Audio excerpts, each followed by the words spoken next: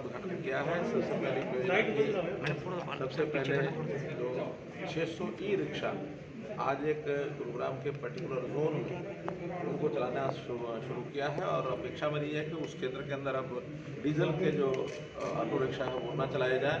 और ये धीरे धीरे चरणबद्ध तरीके से पूरे गुरुग्राम में बारह हज़ार रिक्शाओं को कन्वर्ट करने का हमारा कार्यक्रम है ताकि प्रदूषण को समाप्त किया जा सके और एनवायरनमेंट की दृष्टि से वातावरण को शुद्ध करने का ये पहला प्रोजेक्ट इसी प्रकार दूसरा प्रोजेक्ट सोनीपत में आज यहाँ ऑनलाइन उसका उद्घाटन किया गया है।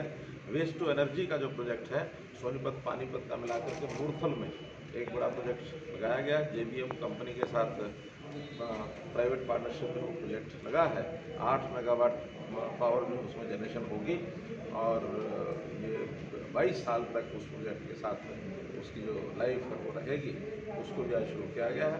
उन दोनों जगहों की जो म्यूनसिपैलिटीज़ हैं, उनका वेस्ट वहाँ जाएगा और उससे एनर्जी जो है वो प्रोड्यूस होगी। ये भी वातावरण को शुद्ध करने के लिए और पर्यावरण की दृष्टि से महत्वपूर्ण एक प्रोजेक्ट है। एक तीसरा प्रोजेक्ट अभी आ, सेक्टर 80 से लेकर अठानवे तक गुरुग्राम जो है उसके पानी की सप्लाई अभी तक उस में नहीं थी। ई ने उस प्रोजेक्ट को पूरा किया है और आज से वहाँ वाटर सप्लाई जो है शुद्ध पानी की उन सेक्टर में होगी। वहाँ के लोगों को तीन लाख लोगों को जो अभी वहाँ रेजिडेंट्स हैं उनको जो है इसका लाभ सर इस तरीके से कोरोना की तीसरी लहर दस्तक दे रही है ऐसे में तो ये तीन जगह यात्रा निकाली जा रही है हरियाणा में, ऐसा क्यों? देखिए क्योंकि वो मंत्री बने हैं और उनके मंत्री पद की शपथ के बाद इस क्षेत्र के अंदर लोगों ने उनको सम्मान करने का जो एक कार्यक्रम बनाया है उस सम्मान के कार्यक्रम में वो यात्रा उनकी शुरू हुई और वो दो दिन तक यात्रा हरियाणा में रहेगी और राजस्थान चली जाएगी। इसलिए जनता ने उनके सम्मान में यात्रा निकाली है तो उसमें अच्छा ही है।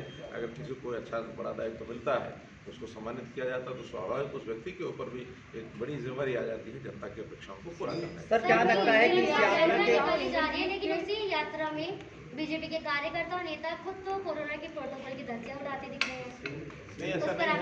है आपने भी मास्क नहीं लगाया हुआ है। ऐसा नहीं है। बात यह है कि इस समय जैसे जैसे समय बदल रहा है वैसे वैसे कोरोना में इस समय थोड़ा बाहर आ रहे हैं और दूसरी लहर जो है वो धीरे धीरे कम हो गई। हमारे प्रोटोकॉल में भी हमने बहुत दी है बहुत ढील दी है यात्रा कोई राजनीतिक मायने नहीं कोई राजनीतिक मायने नहीं है। आखिर कोई भी व्यक्ति जिसके जिसके जीवन में कोई नई एक घटना होती है तो वो यात्राएँ निकलती हैं। और यात्रा पहले भी निकलती रही है आज भी है बाद हमने नई चीज़ें ऐड करी हैं। अब हमारा मेन फोकस जो है वो सस्टेनेबिलिटी पे है। और सस्टेनेबिलिटी में किस तरीके से जो ऐसी चीज़ें स्पेशली एनवायरनमेंट से रिलेटेड कई चीज़ों में हमने ध्यान दिया है। उसमें हम इलेक्ट्रिक बसेस बना रहे हैं, हम सोलर पावर जनरेट कर रहे हैं और हमने अब नए फ़ील्ड में एंटर किया है वेस्ट टू एनर्जी में। और वेस्ट टू एनर्जी के जिस प्लांट का आज हमने उद्घाटन करवाया सीएम साहब के हाथों से, इससे कोई अच्छा दिन हो नहीं सकता था।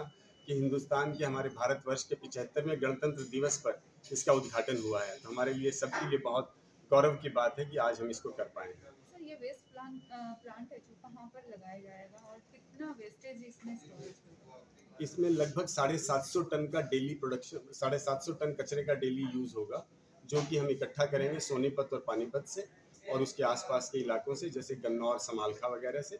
और इससे लगभग आठ मेगावाट का पावर जनरेशन होगा जो कि हम ग्रिड में डेली फ़ीड कर देंगे। सर अपकमिंग प्लानिंग्स और क्या है जेबीएम के और क्या क्या इन्वायरमेंट के लिए करने जा रहे हैं? नहीं जैसे मैंने कहा ये पहला प्लांट है। इसी तरीके के हम और भी प्लांट लगाएँगे और हमने रिसेंटली भारत सरकार की पेट्रोलियम मिनिस्ट्री के साथ भी साइन किया है जिसमें हम लोग बायोगैस प्लांट्स लगाएँगे और उसका भी हम ये मान के चल रहे हैं कि पहला प्लांट यहीं इसके बगल में ही लगेगा। बायोगैस का भी। तो इस तरीके से सस्टेनेबिलिटी वाले प्रोजेक्ट्स और एनवायरनमेंट से रिलेटेड प्रोजेक्ट्स पे विशेष रूप से हमारा ध्यान है। Thank you so much for your name and I am Surendra Kumar Arya chairman of J group thank you so much बाकी लेटेस्ट खबरें जानने के लिए चैनल को सब्सक्राइब और बेल आइकन को प्रेस करना ना भूलें।